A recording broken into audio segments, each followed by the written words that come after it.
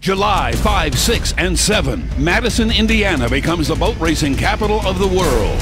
10 of the world's fastest race boats, H1 Unlimited hydroplanes, led by defending national champion Steve David in Madison's own Oh Boy Oberto Miss Madison.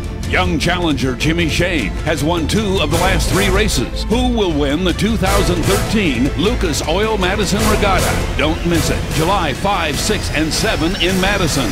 You've got a regatta.